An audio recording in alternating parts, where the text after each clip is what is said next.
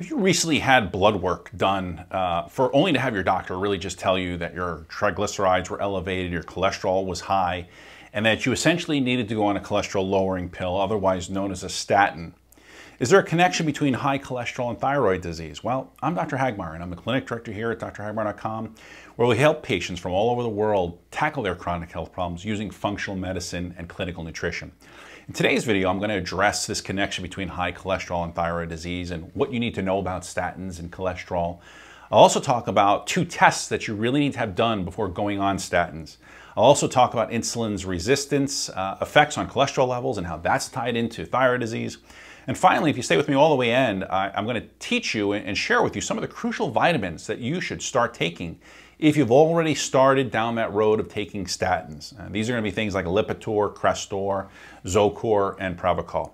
Now, the link between thyroid disease and high cholesterol has been established going all the way back to the 1930s. And if you're someone who has been diagnosed with lipid problems, either high cholesterol, low cholesterol, high triglycerides, high LDLs, which are your bad cholesterol, you should really know that thyroid disease is one of the major causes and major contributors to cholesterol problems. Now, I'll say that again. Thyroid disease is the major cause of cholesterol problems. So before you go on cholesterol medications, I want you to consider the potential for thyroid disease. You see, several studies have actually shown that high cholesterol all by itself is an early marker of what we call subclinical hypothyroidism. And that really shouldn't be ignored, right? Think about that for a moment. If you're taking a statin, you're taking these cholesterol lowering pills, when the real cause of your problem is a hidden thyroid problem, that just doesn't make any sense, right? Now, if you're not familiar with subclinical hypothyroidism, this is when your TSH is normal, right? But your thyroid hormone levels, T3 and T4, are very low. Now, the problem with subclinical hypothyroidism is that this is missed almost every single day in traditional medical doctors' offices. And that's because of many different causes, but for the most part, it's the reference range that's being used for TSH. Many times doctors just don't order anything more than a TSH and then if your TSH falls anywhere between 0.5 all the way up to 5.5, then no other testing is done as it relates to the thyroid gland. And so many people are actually often missed because of that normal TSH.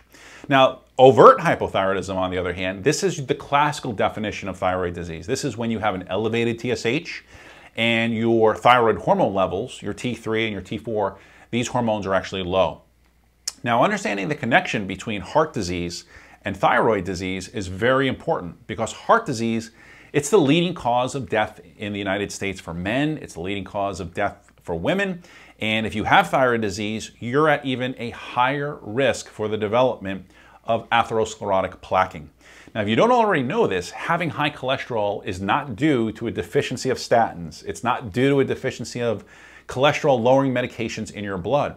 And that's because the reason behind high cholesterol or I should say that, that a good doctor, let me start off by saying this, a good doctor is a good investigator. And so he or she is going to investigate the reasons behind this high cholesterol. And so what potentially could be causing those problems? That's what your doctor has to figure out. So let's talk a little bit about the relationship here between thyroid gland and cholesterol. Now, for just a moment, um, it's very, very important and, and critically important to understand that the connection between cholesterol and thyroid disease is without a doubt unquestionable. The thyroid itself is a, a small butterfly-shaped gland. It, it, sits in the front of your neck. Uh, basically, its job is to make thyroid hormones, namely T3 and T4, uh, in response to a hormone signal that comes from your brain called the pituitary gland. And I like to think of this pituitary gland as, as uh, like the head coach, right? And it's the, the coach with a megaphone. And so what happens is, is when your thyroid levels drop in your blood, so when your T3 levels drop and your T4 levels drop below the normal levels of, of where they should be, what happens is your pituitary gland gets on this megaphone and it starts yelling into that microphone, which causes a release of TSH. All right, now here's why this is so important for you to understand. When your TSH levels are high, your pituitary gland is yelling into the megaphone, right? And it's trying to stimulate, it's trying to kick that thyroid into gear. It's trying to tell it to make more thyroid hormones, make more T3, make more T4. When you have an elevated TSH, however, those thyroid hormones typically are going to be low. And this again is what we call hypothyroidism. Now, I've talked about T3, I've talked about low T3, I've talked about the reasons why a person doesn't convert the, um, the inactive hormone uh, T4 into the active thyroid hormone T3. And I've talked about the primary causes of hypothyroidism, as well as many different thyroid patterns that exist that just don't show up on normal blood work, on a normal thyroid screening. And again, if this is something that resonates with you, there's a free ebook that I put together. I suggest you download it. Um, it's very simple. If, I'll leave a, a link in the description, and if you want to download that free guide, you can. So what is this connection between hypothyroidism and high cholesterol? So here it is. When your TSH goes up, as in the case of hypothyroidism, again, elevated TSH, low T3, low T4 hormones, it does a couple of things. Number one, it decreases the LDL receptor activity. That's number one. And number two, it causes, uh, it binds to the receptors in the liver, which increase an enzyme uh, called HMG-CoA reductase. Now that sounds like a mouthful and that sounds like a lot, but let me explain. HMG-CoA reductase is the primary enzyme involved in cholesterol production. So what this means is that when your TSH levels go up, your liver produces more cholesterol. We also know that in addition to when the cholesterol levels go up, we also know that there's an increase in levels of triglycerides. They also go up. We also see uh, oxidized LDL levels go up, and we also know that that's all tied into an elevated TSH. And again, with that, we also see good cholesterol, which are your HDLs. We also tend to see those uh, go into the lower range of things. Okay, so now you might be wondering that doesn't sound too good. And with all the controversy surrounding the side effects of statins, you may be wondering if it's a good idea to start taking a statin if there's a more natural and better solution to addressing these high cholesterol levels. So the answer to that question really depends on what kind of doctor that you're working with and how you want to approach your own health. If you work with your primary care doctor, essentially he or she is going to put you on a statin and they're going to call it a day essentially. On the other hand, if you work with a, a, doctor who specializes in root cause medicine, a functional medicine doctor, they're going to investigate the reasons behind this cholesterol, right? There's no doubt that statins can reduce your cholesterol. In fact, statins work by blocking that enzyme that I just mentioned just a moment ago. Statins work by blocking HMG-CoA reductase. And again, that's the enzyme that produces cholesterol.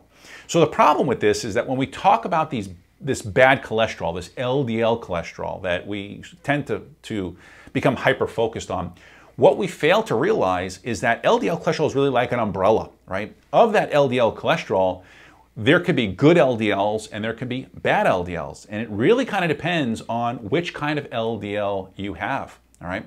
More important is the total number of LDLs that you have uh, is is the particle size. Uh, particle size is very important, but also whether or not those LDLs are big or if they're small. You see, the small, dense LDLs, these are the ones that you need to be concerned with, as these are the ones that are associated with that atherosclerosis. And these, again, these are ones that statins don't address. Okay, statins don't affect the small density LDL particles nor does it address the particle number. So some of the most important markers that you need to know about uh, if you have blood work uh, when it comes back is, um, again, having too much LDL cholesterol uh, is, is a problem, but we need to know more importantly what pattern of LDLs are high. Are they the big ones or are they small ones? The next thing we need to know is the particle number, right? Otherwise known as specifically the LDL particle number. So again, those are tests you should have your doctor run long before you ever consider going on statins. Okay?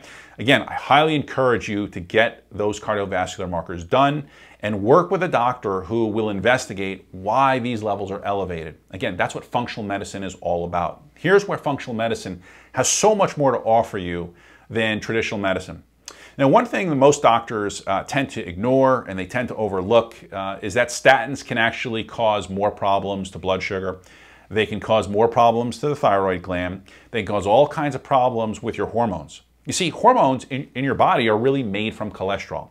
So anytime we talk about hormonal imbalances in men or in women, so we're talking about problems with estrogen, we're talking about problems with progesterone, we're talking about problems with testosterone, maybe we're talking about problems with cortisol, if, you, if you're familiar with uh, problems with the adrenal glands, problems with pregnenolone, and even if you have low vitamin D levels, these are all things that can be affected. Now, to make matters worse, um, your heart depends on some very, very important vitamins.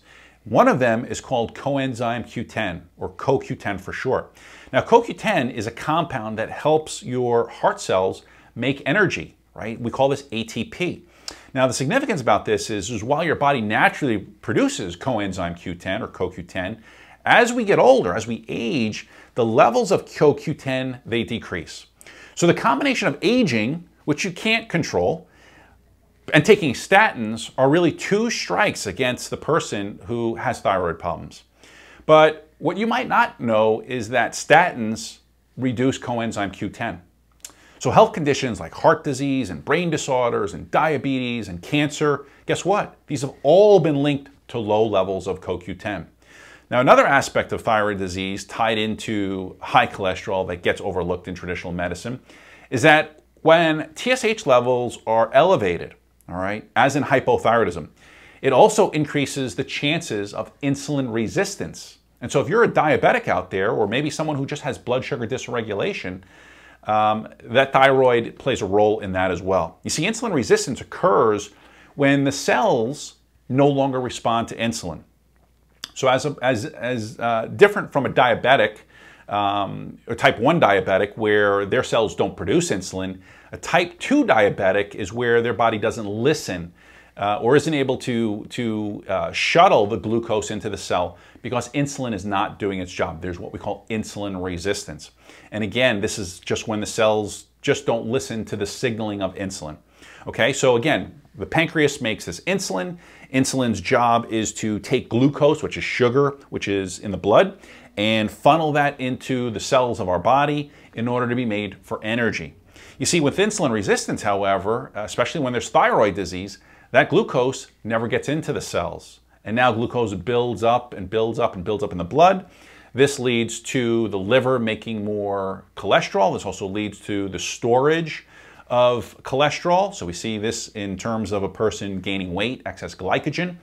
And of course, we see this uh, in showing up in, in blood work from a, from a standpoint of just cholesterol levels.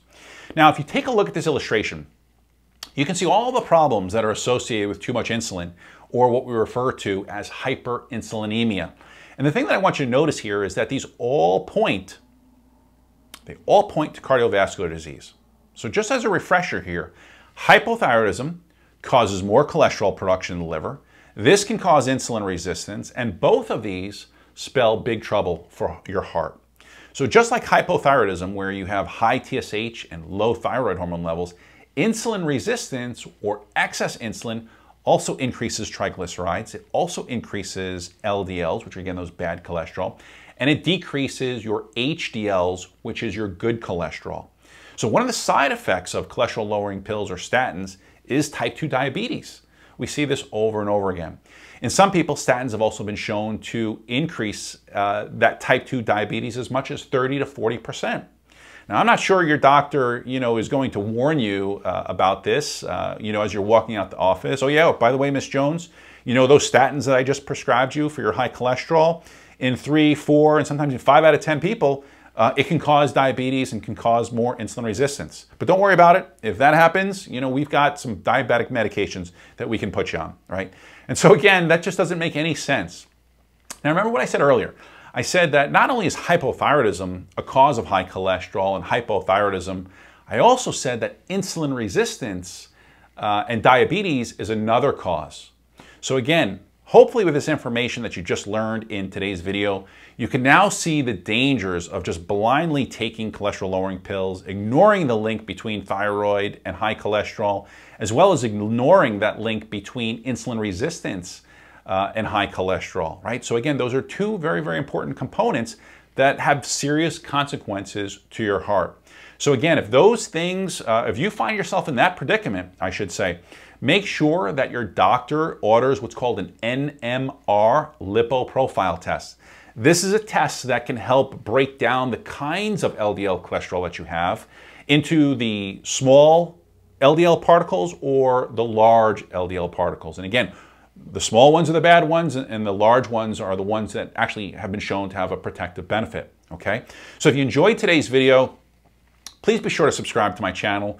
Uh, make sure you comment below. Be sure to hit that notification button And if you leave a comment, I'll do my best to respond to that comment. Um, and again, the one other thing that I want to say too here is that if you want to know more information uh, about cholesterol and its links to thyroid disease and insulin resistance, there's an article that I wrote that goes into a whole lot more detail uh, about thyroid disease and many of the other cardiovascular risk markers that we often tend to see uh, elevated in patients that uh, have thyroid disease, insulin resistance, and high cholesterol. So there you go. I hope you enjoyed today's video. We'll see you next time.